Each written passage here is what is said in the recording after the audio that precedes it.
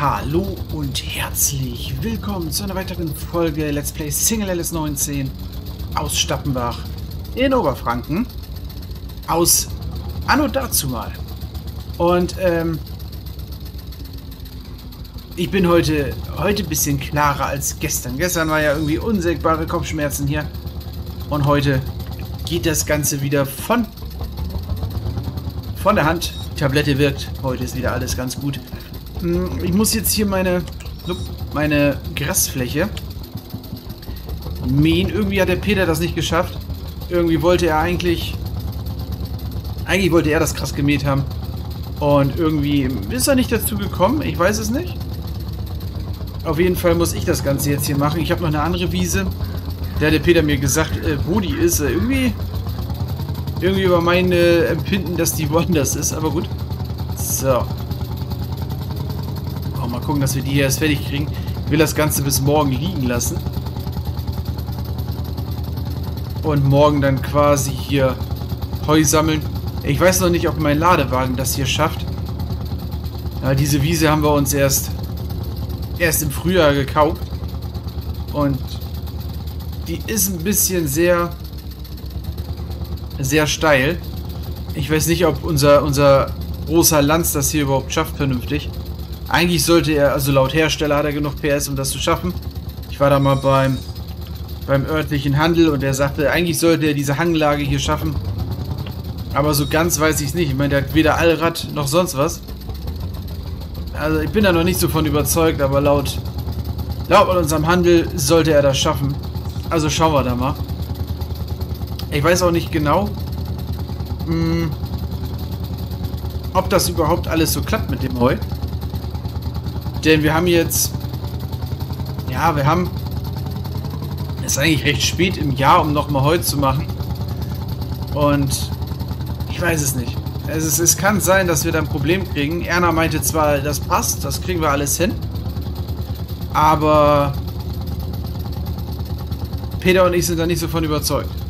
Und das ist immer so ein bisschen das Problem, wenn wir beide davon nicht überzeugt sind, dann kann das durchaus sein, dass das auch nichts wird. Aber wir müssen testen. Wir, wir können es halt nicht so einfach so beurteilen und einfach so frei raus, sondern wir müssen gucken.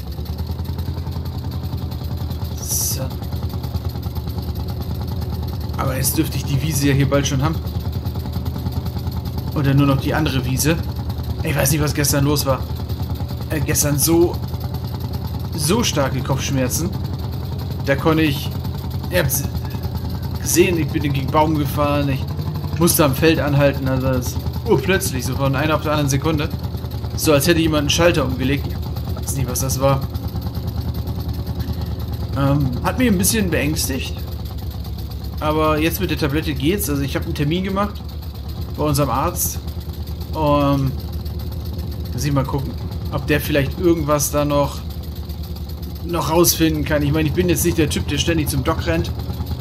Ich, ich kuriere Sachen lieber selber aus, sondern gehe so wenig da wie möglich hin. Schon die Tablette gestern war schon ein bisschen, bisschen grenzwertig, aber gut. Die musste sein, weil ich hätte sonst jetzt hier nicht mehr fahren können.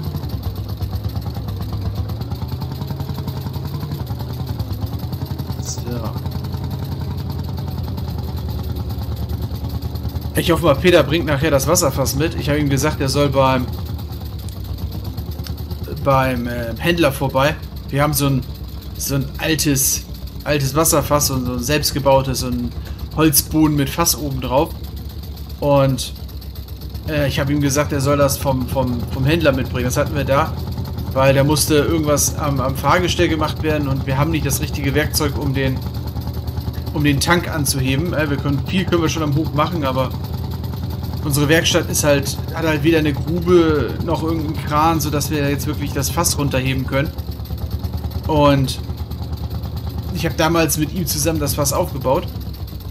Ja, ich hatte gesagt gehabt, ich, ich hatte die Idee und ähm, die, die, die Teile und er hat dann gesagt, ich habe einen Kran in der Werkstatt und dann können wir das darauf heben. Es war irgendwas am Fahrgestell mit dem und Peter war jetzt quasi im Ort, deswegen war er vorhin nicht da. Und der kümmert sich jetzt darum, dass das Ganze gemacht wird. Und bringt das fast dann mit, weil Erna will Wasser im Garten haben. Das hatte sie, ja, hatte sie ja vorhin gesagt, ich erinnere mich. Und die Kühe wollen auch irgendwann wieder was zu trinken. Und dann wäre es ein bisschen blöd, wenn wir das Wasserfass jetzt nicht da hätten. Weil aktuell haben wir kein anderes. Und wir brauchen auch offiziell kein anderes, weil unser Fass ist ein schönes Fass. Glaube ich, 1000 Liter, glaube ich, ungefähr rein. Ungefähr. Und da können wir eigentlich gut mit hantieren. Gut mitarbeiten.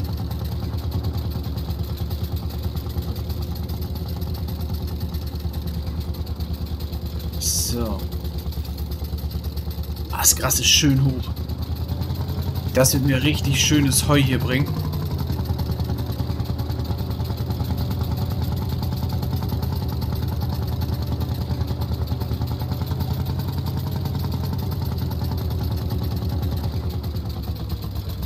Klee muss ich auch noch machen. Wir haben ja noch das eine Kleefeld. Davon von Peter und äh, Kleesilage machen. Für die Kühe. Ja, hier machen wir Heu für die Kühe, da machen wir dann Kleesilage für die Kühe. Und dann haben wir ja auch noch das Maisfeld. Da freuen wir uns schon drauf, weil wir haben so, so einen schönen, schönen Fahrhäcksler. Und da sollte das eigentlich wie geschnitten Brot geben. Bis jetzt haben wir Mais immer immer nicht gemacht. Mais war immer so, so die Pflanze, die wir ausgelassen haben für die Futterernte. Und alles. Und da jetzt ein Nachbar gesagt hat, er füttert das als in Form von Silage an die Kühe und ob wir das nicht auch machen wollen. Und da haben wir natürlich gesagt, wir testen das mal. Und es ist jetzt quasi das erste Jahr, dass wir uns hier an die an die Grassilage machen, äh, an die Maissilage. Ich bin mal gespannt. Er sagte zwar auch, was man, er würde das auch mit Gras machen. Und wir haben auch sonst immer Gras gehabt. Jetzt haben wir dieses Jahr extra nur noch zwei Wiesen. Ja, normal hatten wir noch, ich glaube, zwei größere mehr. Bin mal gespannt. Bin mal gespannt, wie das Ganze funktioniert. Ob es funktioniert. Eigentlich müsste ich heute ja auch noch die Kleesilage einholen. Also das Kleefeld mähen und dann und dann auch noch einsammeln. Mal gucken, ob ich das alles schaffe.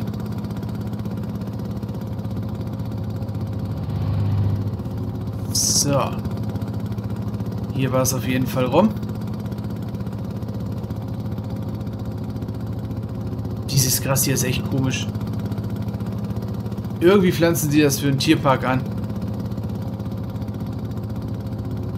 Steht da so komisch in der Reihe. Ich weiß gar nicht, wie die das dann machen wollen. Das ist total die Bodenverschwendung eigentlich.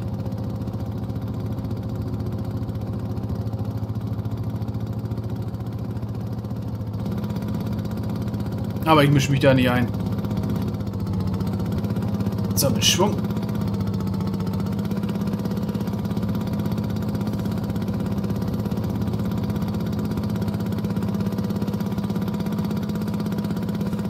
Ja, ein bisschen zu kämpfen hier.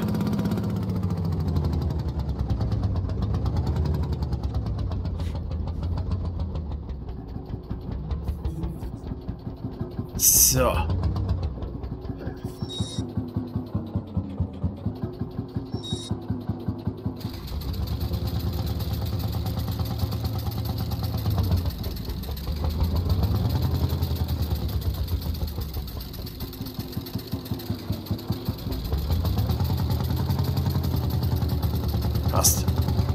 Wiese hier oben auch noch, dann kann die trocknen und dann müsste ich eigentlich zum, zum Kleefeld.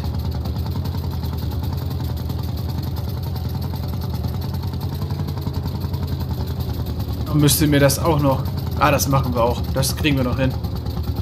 Hier ist zwar ein bisschen dunkler hier im Wald.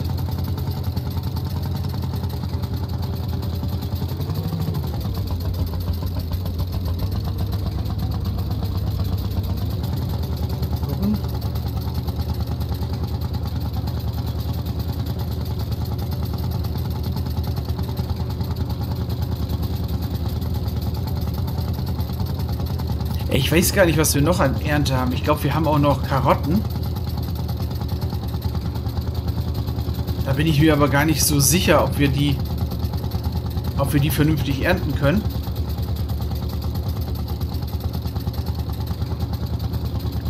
Ne, die haben wir auch, da, da, da hieß es mal, die sind, die sind gut für, für die Kühe. Die können wir da wohl irgendwie mitfüttern. Und dann haben wir da wohl irgendwann mal Karotten angepflanzt. Und ich bin mir jetzt gerade gar nicht sicher, ob wir die überhaupt überhaupt ernten können.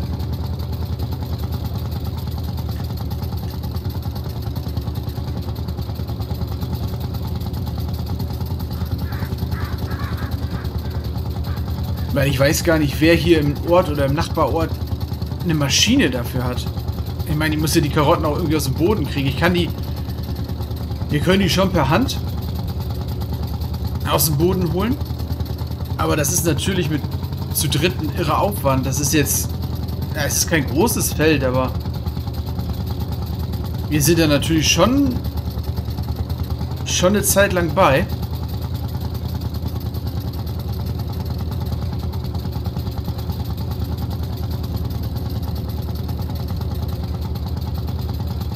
Weiß ich noch nicht. Ich weiß auch gar nicht, wer auf die Idee kam, Karotten anzupflanzen.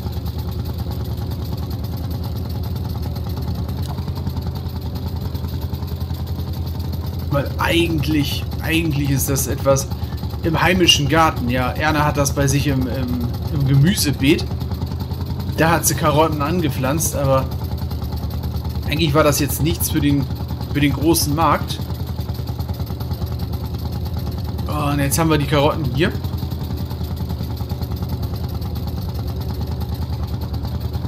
Und die Karotten sind groß. Na, wir waren, gestern waren wir mal beim Karottenacker. Und Peter und ich haben uns köstlichst über diese Karotten gefreut. Gott sei Dank haben wir, haben wir in der Nähe einen kleinen Fluss, wo wir die waschen konnten. Sonst wäre es ein bisschen erdig gewesen. Aber es gibt ja nichts Besseres als Karotten frisch aus der Erde, ne? Die sind, sind schön knackig, sind schön reif, aber wie gesagt, ich weiß noch nicht, wie wir die da rausholen wollen, weil wenn man sich so das Feld mal anguckt, sind die echt gut gewachsen.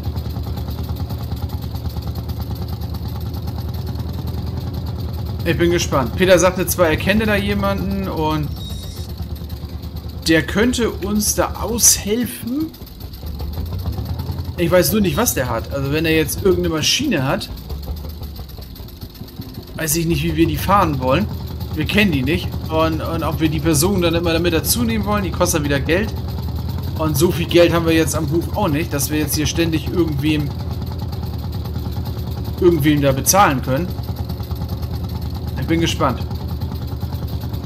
Bin gespannt, wie das alles laufen soll.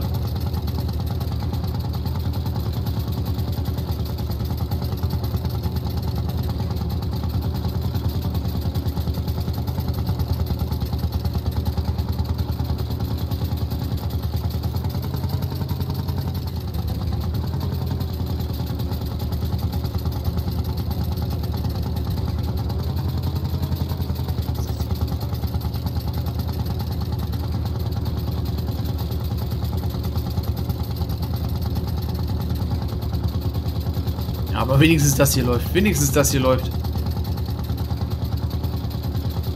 Ich glaube, ich kriege auch das Klee noch gemäht, bevor ich den Messerbalken wieder schärfen muss. Weil bis jetzt läuft der hier echt wie geschnitten Brot durch.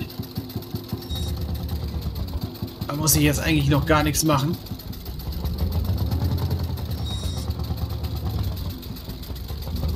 So.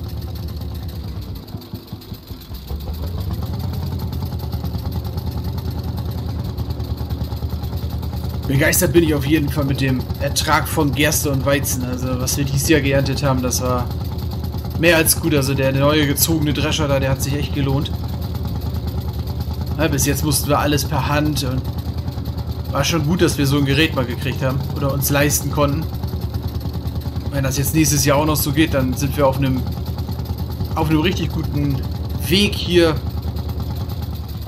ordentlich äh, Profit zu machen. Geld zu verdienen. Dann können wir uns vielleicht auch mal noch einen größeren,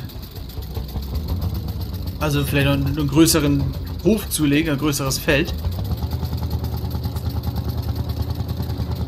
Und auf jeden Fall noch ein bisschen bisschen mehr ähm, Ertrag beim nächsten Mal. Was ich auf jeden Fall noch wissen oder gucken muss, ist, wie ich die Felder noch vorbereiten muss. Also, ich denke mal, gülletechnisch. So viel haben wir, glaube ich, von unseren Tieren jetzt nicht. Ich muss mal fragen, ob der Nachbar noch was hat. Mist könnten wir vielleicht auch. Und dann müssen wir eh die ganzen Felder grubbern und vorbereiten. Weiß gar nicht, dieses Jahr. Ich glaube, wir können schon, schon aussehen. Ne, also ich brauche auf jeden Fall... Auf jeden Fall auf den Äckern, die ich da jetzt hatte, da war ja jetzt Gerste und Weizen drauf. Da muss ich gucken, dass ich da was anderes anpflanze. So dass ich meine Gerste und mein Weizen auf... Äh, ja, vielleicht zum Beispiel auf den Maisschlag oder sowas mache und den Mais dann vielleicht eher auf die beiden Schläge, wo ich jetzt war, das Ganze durchtausche. Ich weiß nicht, wie sich sonst der Boden verhält, wenn wir jetzt ständig nur dieselben Sachen da anpflanzen.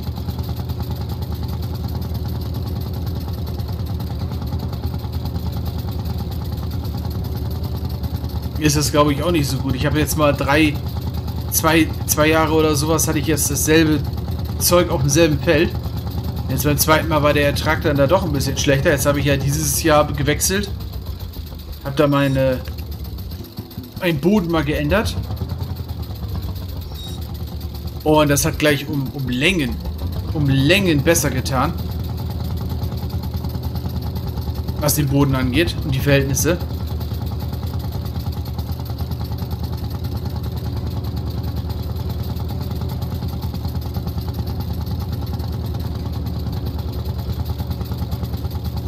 Und das gleiche sollte ich vielleicht jetzt auch nochmal tun. Dann können wir, dann weiß ich auf jeden Fall, dass ich beim nächsten Mal immer durchwechsel, die Felder.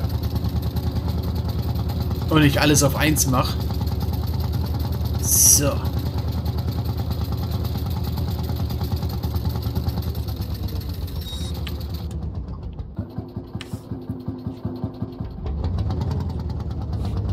Okay, die Wiese haben wir auch. Jetzt müssen wir mal gucken. Ich glaube,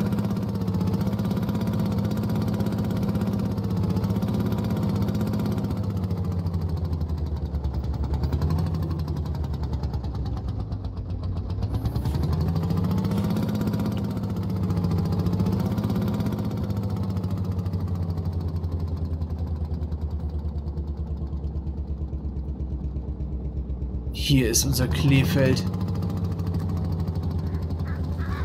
Dann kann ich das auch nochmal mähen, dann ist das auch weg.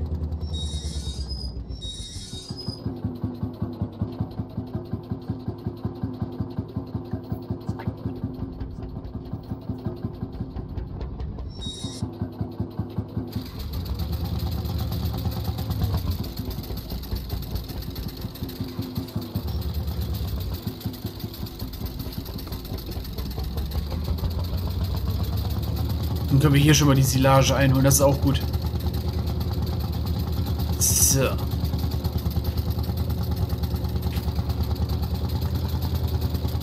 Gut, liebe Lüd, ich würde aber sagen, für euch soll es das für heute gewesen sein. Ich sage vielen lieben Dank fürs Zuschauen. Hoffe, die Folge hat euch Spaß gemacht, hat euch gefallen. Würde mich natürlich freuen, wenn ihr ein Abo, Daumen hoch, Kommentar da lasst. Schaut sehr gerne beim nächsten Mal wieder rein. Wünsche ich euch einen schönen Abend, eine schöne Nacht, einen schönen Morgen, je nachdem, wann euch das Ganze hier anschaut und sagt bis zum nächsten Mal.